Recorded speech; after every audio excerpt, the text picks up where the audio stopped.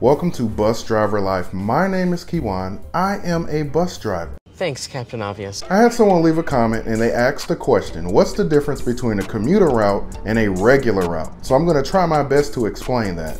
So there are so many different transit agencies in the United States of America alone. So different places are gonna have different names for a regular route. They may call it a local route, and they're gonna have different names for commuter routes. It may be an express, or even as Milwaukee in the state of Wisconsin refers to their commuter bus routes as freeway flyers, which I think is the coolest branding for a commuter route service. And of course, I'm a little bit biased because Milwaukee, Wisconsin is my hometown. So what is a regular route? Well, today I am operating a regular route. As you can see, I'm operating the Route 81. It has service on 65th and on Florin Road. It goes from University 65th Light Rail Station. It stops by the Florin Town Center, by the Florin Light Rail Station, and it goes on to Florin and Riverside. Then we make a U-turn and go back. So this route has daily service all day in both directions. It runs seven days a week. Now, a regular route doesn't have to necessarily run seven days a week, but in general, it's gonna be daily bus service. Some will run later than others, some will start earlier than others, but it's generally basic daily service throughout the city. Now, what is a commuter route? Well, commuter routes are a little bit different. Thanks, Captain Obvious. Generally, a commuter route is only going to operate Mondays through Fridays, AM and PM rush hour or peak hours only. So in the AM, it will serve, let's say, a park and ride lot. What is a park and ride lot? So the park and ride lots are generally in the suburbs or outskirts of the city.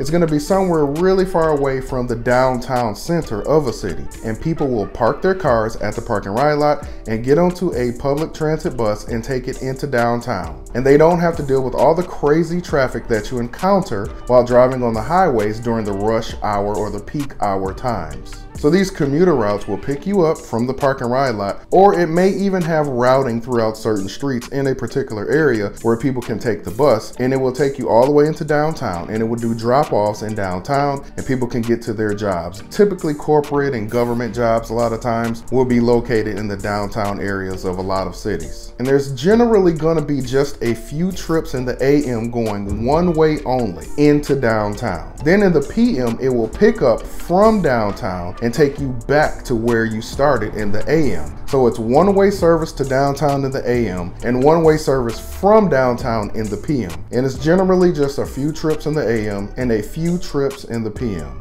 Another difference with commuter routes is you will potentially see different types of transit vehicles serving commuter bus routes. Of course, you'll see standard transit buses operating commuter routes. You can see me getting onto this public transit bus and driving off. Not going to do a commuter route though, just going to do a regular route. You will also sometimes see a modified version of a public transit bus. So you can see the Gillig BRT bus here. It looks just like a public transit bus except it does not have a rear door. And a lot of times the seating on buses like this will be more like that of a motor coach. So you'll see the motor coach style seating on the interior of these buses a lot of times and they're a lot more comfortable and they recline and it makes a lot of sense because a lot of commuter routes are long distance. You'll even see cutaway vans that are modified for public transit on commuter routes sometimes. And as you can see, this cutaway van has a destination sign at the top. One of the more common types of buses that you will see on a commuter route is a modified modified motor coach. You can see here, this is an MCI motor coach that has been slightly modified for public transit use. It has a bicycle rack on the front. It also has a head sign which can display route and destination information. And outside of public transit agencies, you also have some private charter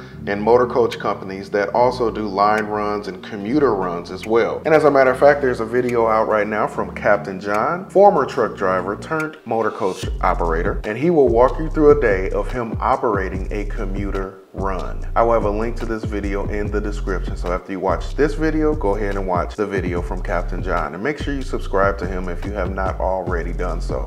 Here's an example of a freeway flyer commuter route in Milwaukee, Wisconsin on the Milwaukee County Transit System. And as you can see, it picks up at the State Fair Park and Ride lot in the AM and it takes you into downtown Milwaukee and it drops off along Wisconsin Avenue. Wisconsin Avenue is one of the main arteries in the downtown Milwaukee area. And then in the PM, it will just reverse that and pick up on Wisconsin Avenue in downtown Milwaukee and take you back to the State Fair Park and Ride lot in the afternoon. And even as we look at the schedule, you see there's just a few trips in the AM and a few trips in the PM. Of course, there's always exceptions to the rule, but in general, this is how commuter routes work. And since we're talking about the Milwaukee County Transit System, and I was born and raised in Milwaukee, Wisconsin, here goes the articulated buses that used to serve Milwaukee's freeway flyer routes. I used to love this articulated bus. To date, this is my favorite articulated bus ever. I used to love riding on this bus, and it served Milwaukee in the 80s and the 90s. So to all my bus drivers and passengers, what do they call the commuter routes in your area? And hopefully I answered your question. So if you are new to the channel, please consider subscribing, hit the like, and thank you for watching